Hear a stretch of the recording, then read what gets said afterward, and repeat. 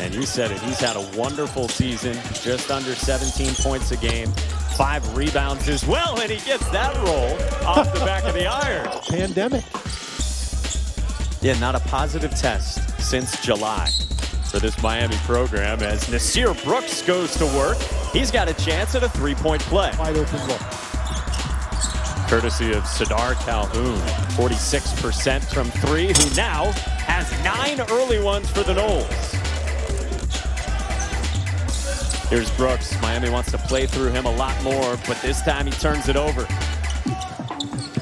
How about Koprivica taking it himself and laying it in? The seven foot one center. He's just been terrific. And Dan, you saw Florida State up close and personal on Saturday against Pitt.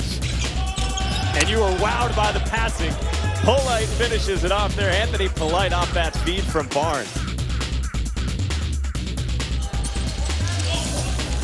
Through the lob that time, a bit too ambitious looking for Koprivica.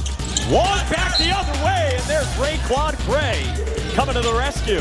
Was the pass that he made, but he really makes up for it. He hustles. He actually got in front of Isaiah Wong. what they thought was a deep, talented team, and they just kept losing guys. Scottie Barnes, the transition slam. Koprivica with the slam. For Scottie Barnes and company, Florida State has won nine out of its last 10, and they have won seven straight against their rival in the Hurricanes.